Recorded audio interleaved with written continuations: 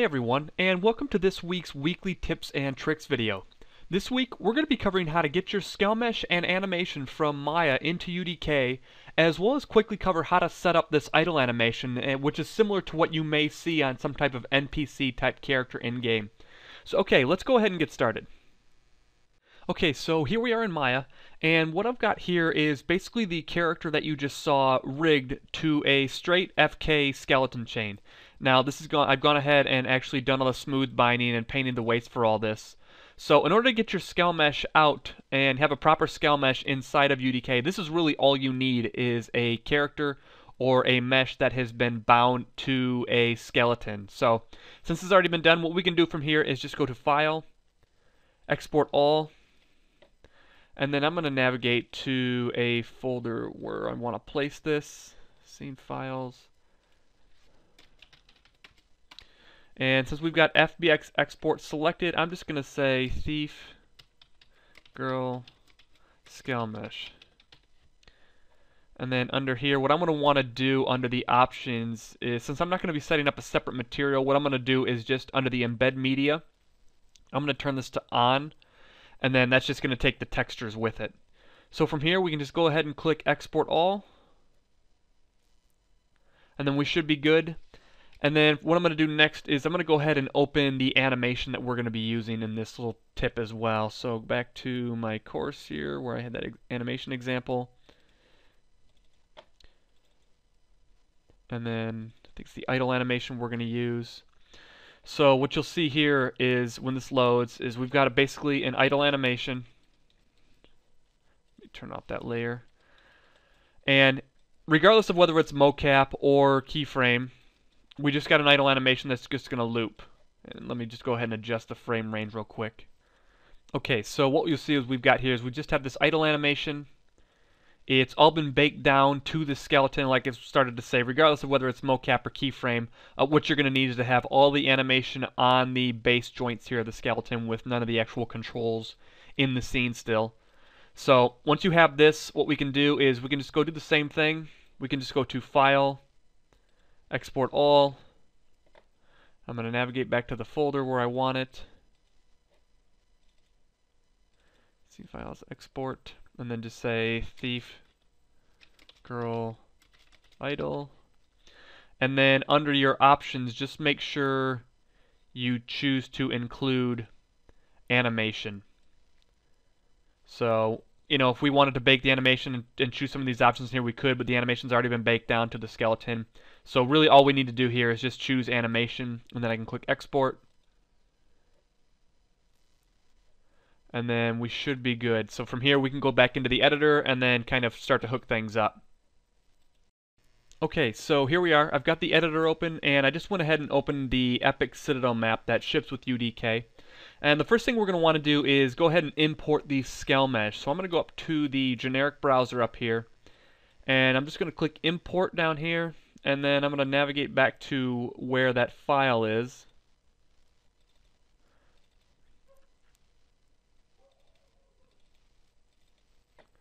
And this is the skelmesh here. I'm just going to click open. And it's going to give us some options, what we want the package name to be. I can just name this Thief Girl. Uh, I can keep the Thief Girl skelmesh name the same. And then when you scrub down here under the options, just make sure that you have import materials and textures both checked and then just click OK. And then what it's going to do, it's just going to kind of load all that stuff in. And then what you'll see from here is if you double click the skelmesh, bring this over here into the recording window, we now have our character inside of UDK here. And as you can see, if I click this little button, it's going to show all the skeleton, and you'll see that we've got all those joints with it. So from here, what I'm going to do is I'm going to go ahead and create an anim set and begin to bring in the animations, or the animation for this example, I should say. So from here, we've got our new packages down here, which is where the Thief Girl package was created. And then if I just go ahead and right click, way at the top here, it's just getting a little cut off from the resolution of this recording, but you'll see at the very top it says new anim set. So if you just click that, I'll just type Thief Girl underscore anim set. Uh, there really aren't any options here, just make sure that if under the factory anim set is selected, just click OK. And then what we're going to see is by default, we're just going to have this BSP block in here. So what we need to do first is change out to our skelmesh. So we can do that by selecting the skelmesh that we just imported and then going back to our anim set and under the mesh tab just under the default skelmesh section just go ahead and click that green arrow and what that's going to do is that's going to import the skelmesh so as long as it's still selected. So from here what we can do is we can go to file import FBX animation and then let me go back to my source assets. And we're going to want to choose the thief girl idle and what we'll see now is we have her idle animation if I kind of scrub through it but it's kind of hard to tell with this, but one thing that we're going to need to do is under the anim set tab, there's this anim rotation only checkbox. And what that's going to do is that's going to say that every single joint in this hierarchy can only uh, accept rotation values. But the problem with that is the fact that on our hips joint here, we actually have some translation moving back and forth. So if we don't, if we have that checked, what's going to happen, you'll see as I scrub through it, we're going to get a bit of foot sliding and what's happening that's because it's kind of counter animating uh, what's happening with the feet since it's all been baked down. So when you bring this in or any animation into an anim set you're just going to make sure you uncheck that and you'll see that it actually moved position a bit. And what happened from there is you see that we now have this red warning saying that you know because of it's been moved and this anim rotation has been unchecked we now have to recompress the animation. So we can do that by going up to animation compression and animation compression settings. And we have a bunch of different settings here, and animation compression is basically what it does is it, it changes the accuracy of your animation curves on all of these joints here.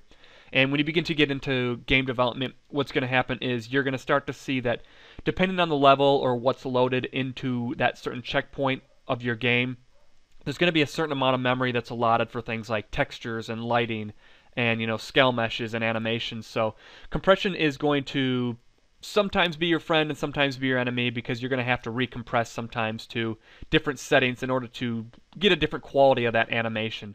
So since it says right here that we're going to need to recompress it, what we can do for this example is just recompress at a high setting. And for here, we can just go to remove trivial keys and float 96 should be fine. I can just click apply to sequence and it'll kind of tell you how much you saved for compression on this specific sequence here. So now that we've done that, you'll see that we get that little error that goes away. And from here we can go ahead and begin to hook this up in the actual level. So I'm just going to move these off to the side. Uh, but we're going to need to make sure that this skelmesh is still selected right here because we're going to go ahead and add that to our scene right now. So let me go ahead and find a spot. Maybe go out here and have her I don't know, let's say she's standing in this little hallway section right here. So with that skelmesh still selected, I can just right click on the floor and say add skeletal mesh thief girl. And you'll see that she gets added right here. And then from here what we're going to need to do is go into her properties and set up a few additional things about what animation she's playing and what anim set she's kind of calling from when she wants to play this animation. So the easiest way to go ahead and find these animation features here, the animation properties, is just to type anim into the search field and that's greatly going to reduce the amount of searching that you're going to have to do in a bunch of these rollouts here. So for starters, what we're going to see is there's this field right here called anim sequence name, which is basically anim sequence name. And that's where we're going to want to add the actual name of the animation that we want her to play. So if we go back into our anim set real quick, go back to my animation tab, I can just click this and hit Control C, and then drag this back off and then hit Control V in here. And what we're going to need to do next is tell it what anim set it's going to be playing from. So if we scroll down here a bit, you'll see that we have this section right here called anim sets, and you'll see that there is you have the possibility to add multiple anim sets that the, the character could be calling from. Now granted we only have one anim set, so I can go ahead and delete this second one that I created. But from here what we're going to want to do is add this anim set in. So let me just go back to my content browser here I can select on that anim set that I've created. I can import that.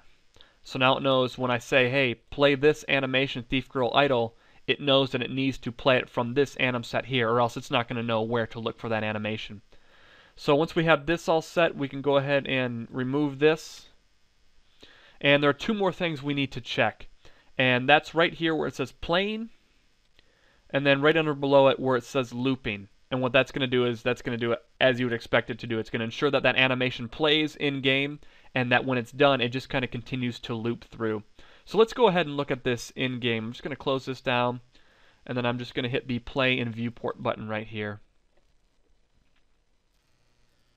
Okay, so what you see is we now have our skelmesh animation in game.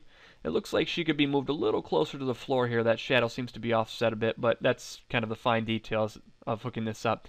But what we've got is we've got our skelmesh in game and playing our idle animation. So, well, that concludes this uh, tips and tricks video. Thanks again for watching 3dmotive.com.